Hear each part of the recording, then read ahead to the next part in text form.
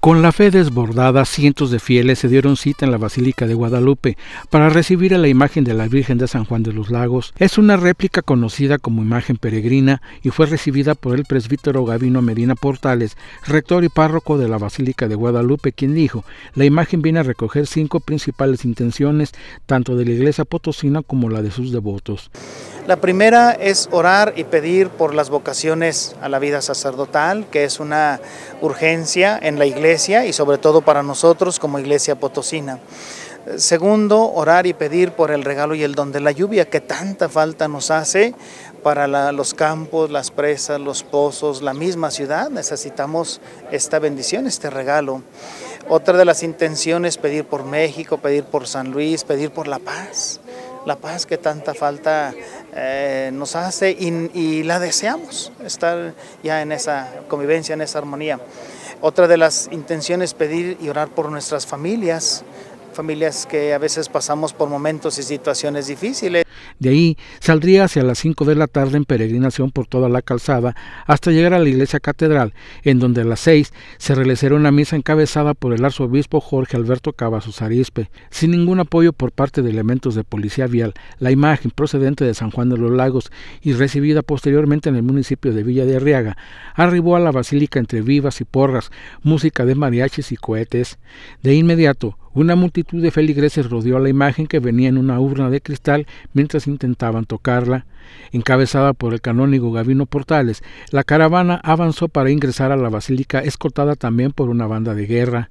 Doña Margarita cuenta que la Virgen llegaría a las 11 de la mañana y aunque ella estaba desde horas antes, dice que valió la pena esperar. Mucha emoción. Tenía ya muchas ganas de ir a San Juan, pero mire, ahora nuestra Madre Santísima vino. Doña María dice que ella la esperaba con mucha fe y devoción al decir que le hará una petición muy especial. Una Virgen tan milagrosa que nos hace falta muchos milagros para que entre del corazón de esos gobiernos que nos tienen tan mal, que se acabe la violencia. Yo le pediría a la Virgen de San Juan y a la Virgen de Guadalupe que pare la violencia. La imagen de la Virgen de San Juan de los Lagos permanecería unas horas en la Basílica de Guadalupe y de ahí sería trasladada a la iglesia catedral, de donde saldrá a continuar sus recorridos por otras parroquias a las 9 de la mañana de este martes. Eh, en esta primera etapa la imagen nos acompaña desde hoy, desde este día, 10 de, julio, hasta el día 18 que se retira. Y regresa Toda esta primera etapa es en, aquí en la ciudad, las parroquias de la ciudad, no alcanza a visitarlas todas, los decanatos se han organizado de manera que estará un momentito en cada parroquia. El día de mañana el Cabildo de la Catedral la despide a las 9 de la mañana y ella entra al decanato de Santa María de Guadalupe y visitará creo que todas las parroquias de esta zona. De, esta zona. Y así va a ir recorriendo, recuerdo la parroquia de Tlaxcala, eh, que son las que, que están eh, bueno, que están ya, ya organizadas. Nada más aquí en la ciudad. En, la pura ciudad, en la pura ciudad. Eh, no, las parroquias foráneas vienen en los primeros días del mes de septiembre. Ahí también llegó don Salvador para pedirle que interceda por su esposa. ¿Alguna petición en especial? Que se alivie mi esposa, está, la van a operar. Igualmente, don Pablo dijo que, entre otras cosas, su petición a la Virgen será por los enfermos y que haya menos violencia. Menos violencia que nos ayude de menos violencia y por los enfermos.